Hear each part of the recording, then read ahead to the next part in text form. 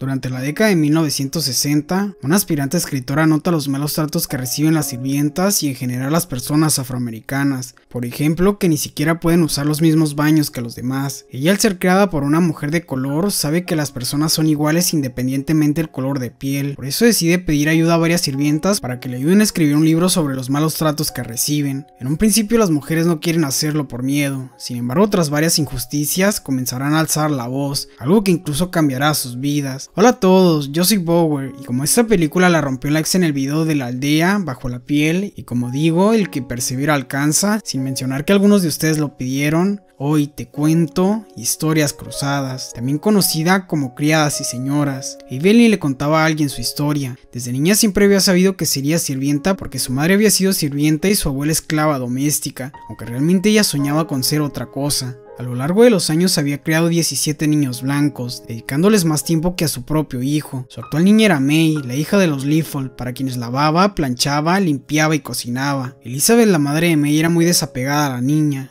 Así que Evelyn le daba el amor que no le daba a la mujer. En ese tiempo la mayoría de las jóvenes ya tenía hijos. Caso contrario Skeeter, quien al terminar la universidad volvió al pueblo para solicitar trabajo en el periódico local. Verán, había solicitado trabajar en Nueva York con Eleni Stein, pero la mujer le había pedido más experiencia, por eso estaba ahí. El encargado del periódico terminó contratándola. Respondería cartas en la columna de consejos de limpieza. Mientras esto ocurría, Hilly marcaba su papel higiénico. Así notaría si su sirvienta Minnie usaba el baño. Originalmente Hilly tenía otra sirvienta, pero cuando su madre se mudó con ella trajo a Minnie consigo, ya que era la mejor cocinera. Por otro lado, hacía ya cuatro años que Evelyn había perdido a su hijo. Esos tiempos fueron difíciles para ella, pero Minnie siempre la apoyó. Hablando de Evelyn, Elizabeth tendría una reunión, por eso cubrió la grieta de la mesa con un plato de comida, y segundos después llegaron todas las mujeres.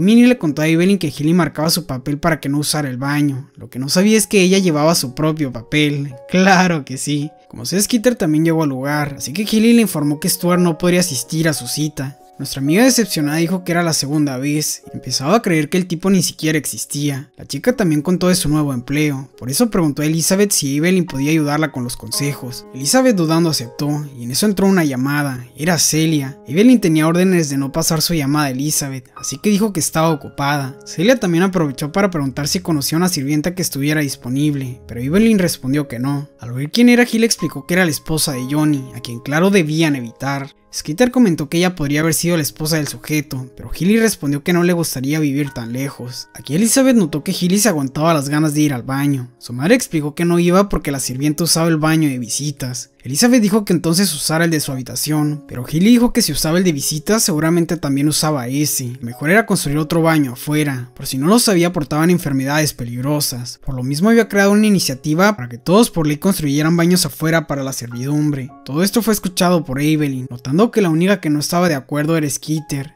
Al terminar la reunión, Skeeter se acercó a Evelyn para preguntar sobre los consejos. Evelyn aceptó encantada. Aparte nuestra amiga se disculpó por los comentarios de Healy, no todos eran como ella. Skeeter también preguntó por Constantine, su antigua sirvienta. Desde que había renunciado no sabía nada de ella. Evelyn dio a entender que no había renunciado, pero en eso fue interrumpida por Elizabeth. Al regresar a casa, Charlotte, la madre de Skeeter, quien por cierto padecía cáncer, preguntó si tendría novio antes de que muriera. ¿Acaso le gustaban las chicas? Porque había un té que curaba eso. El comentario molestó a la chica y poco más tarde llegó la cena, donde nuestra amiga preguntó a su padre qué había pasado con Constantine. El sujeto dijo que se había ido a Chicago, pero se notaba que era una mentira. Charlotte interrumpió confesando que la había despedido, lo que enfureció a nuestra amiga. Constantine la había criado. Llorando la chica salió al jardín recordando cómo Constantine siempre la apoyaba. Años atrás nadie le invitó al baile porque decían que era fea. Así es, los locos le decían fea a buen Stacy. Constantine al oírlo le dijo que no creyera las cosas que decían los tontos. Ella era hermosa y haría grandes cosas. Esto le dio una idea a nuestra amiga, por eso llamó a Stein. Quería escribir sobre el punto de vista de las sirvientas, que se sentía crear niños que en 20 años serían sus jefes, que se sentía no poder usar los mismos baños. La mujer respondió que era interesante, pero ninguna mujer se arriesgaría a contar la verdad. Skeeter mintió diciendo que ya tenía una dispuesta, lo que convenció a la mujer, quería un avance para ver cómo continuar. Skeeter sin dudar fue con Evelyn por consejos, sin embargo en cuanto se fue Elizabeth le contó su idea. Evelyn respondió que era peligroso, pero Skeeter dijo que ocultaría la identidad de todas las sirvientas, porque sí, necesitaba más. En eso regresaron los Leaford discutiendo, así que Elizabeth mencionó que lo sentía, pero Evelyn ya no podría ayudarla. Al caer la noche se desató una tormenta. Minnie tenía ganas de ir al baño, así que la madre de Hilly dijo que usara el de visitas. Hilly dijo que no, solo era un poco de lluvia. Pese a eso Minnie entró al de visitas, así que furiosa Hilly la despidió. Esa noche murieron 18 personas, 10 blancos y 8 negros. Así Evelyn notó que Dios no se fijaba en el color.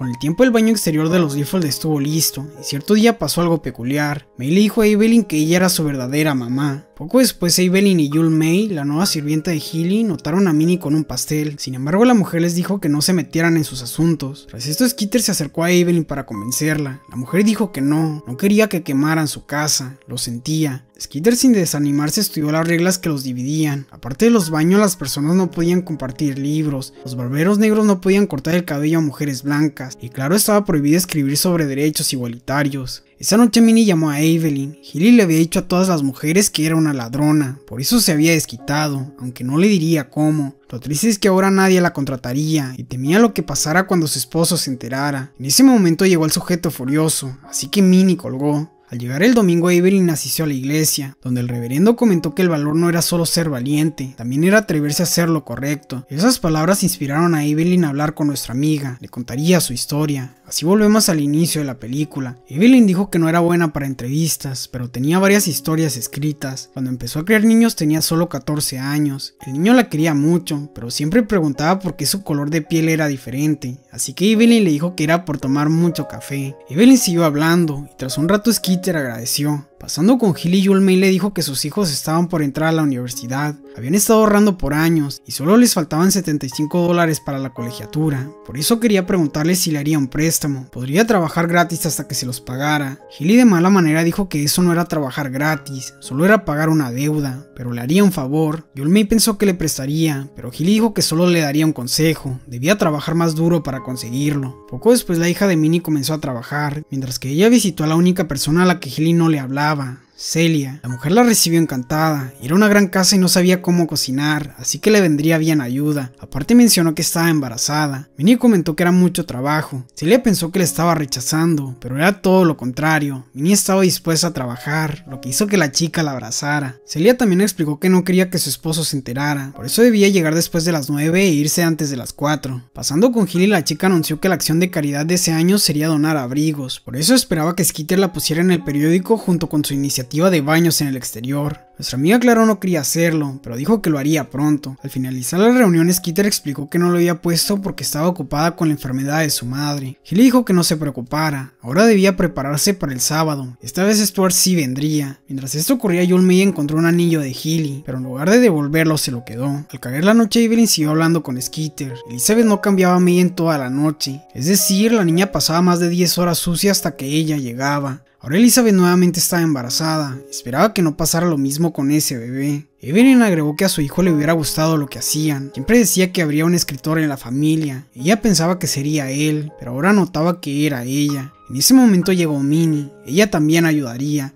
Primeramente odiaba trabajar tanto por menos del salario mínimo y que ni siquiera les dieran seguro. También odiaba querer tanto a los niños para que terminaran siendo como sus madres de adultos. Una vez que Minnie empezó a hablar no podía parar, así que contó sus experiencias durante toda la noche. De hecho dijo que conseguiría más sirvientas. Tras esto Skitter fue con su madre, quien arregló para su gran cita. Nuestra amiga se veía grandiosa, pero al irse en la camioneta su cabello se arruinó. Hilly lo remedió rápidamente, comenzando su cita doble. Aquí notó que Stuart era real, sin embargo el sujeto aparte borracho se comportó como un patán, menospreciando el trabajo de Skitter como escritora, por lo que sin más la chica se marchó. Días después Minnie le enseñó a hacer pollo frito a Celia. La mujer se sentó a comer con ella, pero Minnie le dijo que no era lo correcto. Las señoras no comían con las sirvientas. Celia respondió que no le importaba, comerían juntas. Aquí Celia notó que el pollo estaba delicioso. Eso levantaría sospechas de su esposo. Quizá era mejor quemarlo un poco. Minnie no quema el pollo, respondió la mujer. Claro que sí. Esa noche Sten felicitó a Skitter, su avance era genial. Sin embargo, quería saber cuántas sirvientas más conseguiría, por lo menos requería 12. Evelyn comentó que podían inventarlas, pero Skitter se negó, eso no sería real. Evelyn contó que su hijo había muerto trabajando para blancos. El capataz lo único que hizo fue arrojarlo frente al hospital y tocar la bocina. Debían terminar el libro o todas sus historias morirían como él. Tras un par de semanas, Skeeter trató de que Yulmei hablara, sin embargo la chica se negó. Que interrumpió, aún no publicaba su iniciativa, era mejor que lo hiciera. Al caer la noche nuestra amiga comenzó a escribirla, sin embargo lo reconsideró, por eso hizo un cambio. Al día siguiente Stuart visitó a la chica para disculparse, la verdad es que no era un patán, lo que pasaba es que hacía un año que su prometida había roto con él y no se sentía listo para salir con alguien más, pese a ello ella le agradaba, de hecho admiraba su columna en el periódico y que siempre decía lo que pensaba, por eso le pedía otra oportunidad. La chica se la dio notando que verdaderamente leía su columna y de hecho era muy agradable. Tanto que le dijo que debía escribir solo cosas en las que creyera, así que se besaron. Al día siguiente todos se volaron de Healy, ya que nuestra amiga no había escrito que le llevaran viejos abrigos, sino viejos excusados. Me usó uno, así que Elizabeth la golpeó. Evelyn tomó a la niña, debía recordar lo que siempre le decía, y era amable, lista e importante. En esos días el movimiento por derechos para los afroamericanos se intensificaba, así que un grupo en contra comenzó a acabarlos. Asustado Evelyn regresó a casa, donde Minnie le dijo que era el Ku Klux Klan, lo que hacían con Skeeter era peligroso. Evelyn comentó que no pararían, solo tendrían más cuidado. A Skeeter también le preocupaba la situación, no quería pasar lo mismo que los jinetes de la libertad.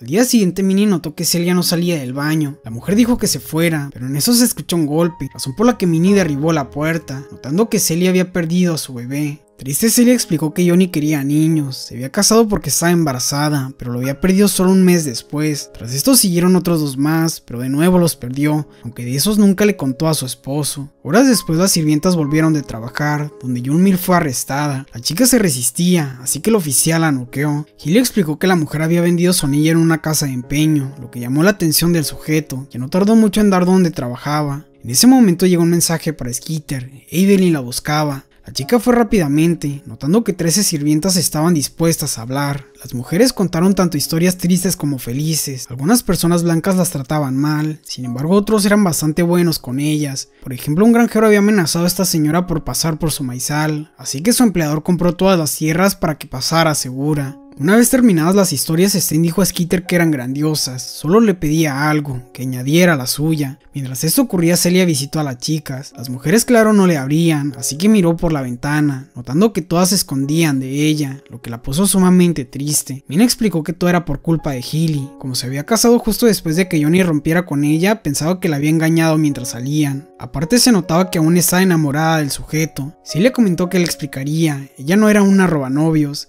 Aparte le dio un consejo a Minnie, debía dejar a su esposo. Con los días la situación se volvió más peligrosa, motivo por el que las chicas pensaron parar, que tal que descubrían que el pueblo del libro era ahí. Minnie dijo que no pararían, solo necesitaban un seguro, por eso les contó lo que había hecho. Le había llevado un pastel a Gilly del que se comió dos rebanadas. Según la mujer estaba delicioso, así que su madre pidió probarlo. Minnie le dijo que no, era solo para Gilly, ya que estaba hecho con su caca, Claro que sí. Gilly se puso como loca, mientras que su madre solo reía, razón por la que Gilly la mandó al asilo. Se los contaba porque escribirían esa historia en el libro, y al leerla Gilly haría de todo para negar que el pueblo del libro fuera ahí. Noches después llegó la gala de caridad. Aquí Celia bebió bastante. Fue entonces que anunciaron que la ganadora de la subasta por el pay de Minnie era Gilly. Feliz le abrazó a la chica. Aparte aprovechó para tratar de arreglar las cosas. Sin embargo, Gilly se levantó, lo que causó que Celia le rompiera el vestido. Gilly molesta preguntó qué planeaba con Minnie pero Celia solo dijo que Johnny nunca la había engañado. Johnny interrumpió el momento, así que Gilly salió. Claro pensaba que Celia sabía el pastel, no obstante quien lo había comprado para ella había sido su madre, todo por enviarla al asilo. Al día siguiente por vergüenza Celia pensó en dejar a Johnny. Minnie le contó a la mujer lo del pie, no era su culpa. Gilly había pensado que al felicitarla se burlaba de ella, por eso la había atacado. Aparte si dejaba a Johnny, Gilly ganaría en todo. Al caer la tarde Skitter le contó a las chicas que solo faltaba su historia, después el libro se publicaría. Para poder hacerlo, nuestra amiga pidió la verdad a su madre, la verdad sobre Constantine. La mujer explicó que adoraba a Constantine. Sin embargo, en una visita de las hijas de América llegó Rachel, la hija de Constantine, a visitar a su madre. La quería bastante, sin embargo, para no quedar mal, le pidió que entrara por la cocina.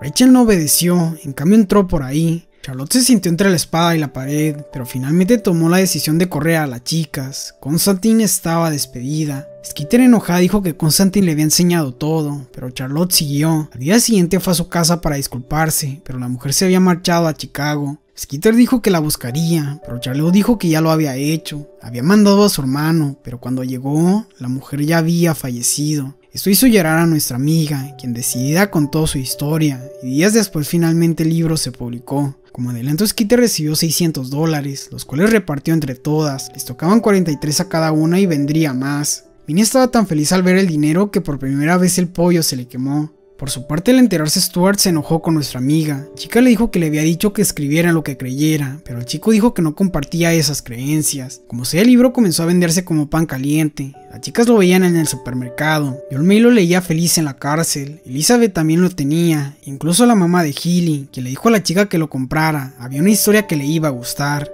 Al leer su historia, Gilly se puso como loca, por eso trataba de convencer a todas que el pueblo del libro no era su pueblo. Cierto día, Gilly recibió un cheque de Celia, el destinatario, para dos rebanadas, Gilly. Claro que sí. Finalmente Skeeter recibió el trabajo que quería. No obstante en eso llegó Healy. Sabía que ella era la escritora junto a Avery. Las haría pagar. La próxima vez no debían mencionar el detalle en la mesa de Elizabeth. En cuanto a Minnie tenía planes para ella. Skeeter dijo que tuviera cuidado si no quería que todos supieran su secreto. Charlotte apoyó a su hija diciendo que Gilly se veía enferma, incluso tenía algo en el labio, quizá era por comer tanto pastel. Claro que sí. Tras esto la mujer habló con Skeeter. En ocasiones el valor se saltaba una generación, pero estaba feliz que ella lo trajera de regreso a la familia. También le dijo que debía aceptar el trabajo en Nueva York. La chica dijo que no quería dejarla, pero Charlotte comentó que estaría bien, debía cumplir su sueño, estaba muy orgullosa. Pasando con Minnie, la chica llegó a trabajar, no obstante fue vista por Johnny. La mujer pensó que el sujeto la atacaría, pero era todo lo contrario, lo sabía desde hace mucho. También sabía los bebés de Celia, la mujer le había contado todo y le daba gusto que estuviera ahí para apoyar a su esposa. Tras esto ambos entraron a la casa donde la pareja tenía una cena para Minnie, querían que trabajara con ellos siempre, claro si ella quería. Este acto le llegó al corazón a Minnie, así que días después tuvo la valentía de dejar a su esposo. Días después las chicas fueron a la iglesia, donde justo al entrar todos las recibieron con aplausos, eran muy valientes. De hecho, como muestra de agradecimiento todos habían puesto sus nombres en un par de libros. Las chicas le dieron un skitter, quien les informó del trabajo en Nueva York, aunque no lo iba a aceptar, no podía dejarlas en el pueblo solas con tanta responsabilidad. Las chicas dijeron que se fuera, ellas estarían bien, aparte no conseguiría un buen hombre, muchos estaban en su contra. Días después Evelyn notó que Gilly estaba con Elizabeth, al parecer habían desaparecido unos cubiertos de la vajilla que le había prestado. Evelyn sabía que era mentira. Gilly solo quería incriminarla para llamar a la policía. Elizabeth aquí fue a acostar a su hijo, así que Gilly confesó que la mandaría a la cárcel por el libro. Evelyn harta por fin habló. Ella sabía muchas cosas de ella, podría confesarlo a todos. Aparte desde la cárcel tendría mucho tiempo para escribir más. Gilly respondió que nadie le creería, pero Evelyn comentó que todos sabían que su libro era real. Ella intimidaba y mentía para salirse con la suya. Era una mujer sin Dios. ¿Acaso no estaba cansada de ser tan mala? Gilly llorando fue por el teléfono, así que Evelyn también con lágrimas se despidió de su niña. Siempre debía recordar lo que le decía. Era amable, lista e importante. Tras esto le dijo a Elizabeth que por favor le diera una oportunidad a su hija, y sin más se marchó. Me desde la ventana lloraba, pero Evelyn no podía regresar. Evelyn sabía que Dios decía que debemos amar a nuestros enemigos. Era difícil, pero se empieza por decir la verdad, y ahora que ella lo había hecho se sentía libre. Su hijo siempre decía que habría una escritora en la familia, y ahora sabía que sería ella. Si quieres ver otra historia parecida, te recomiendo Los Escritores de la Libertad. También una de donde sale Gilly, el de la aldea, y otra donde sale Celia, el ángel de la muerte. Las tres estarán apareciendo en pantalla y claro en la descripción. Muchas gracias a todos por ver, y gracias especiales a los miembros del canal quienes me apoyan a seguir creando este tipo de contenido. Si te gustó dale like y activa la campana. Eso es todo. Bower fuera. Nos vemos en la próxima.